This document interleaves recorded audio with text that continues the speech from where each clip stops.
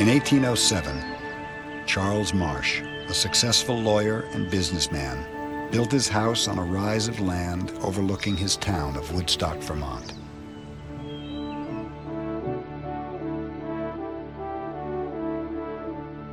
Like other homes that have survived two centuries, its owners lived at different times, had different names, and never met.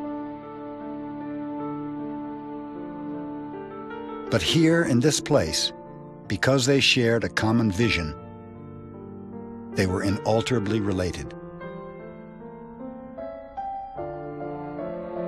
George Marsh, scientist, linguist, diplomat, conservationist. Frederick Billings, lawyer, financier, industrialist, conservationist. Laurance Rockefeller, entrepreneur, philanthropist, public servant, conservationist.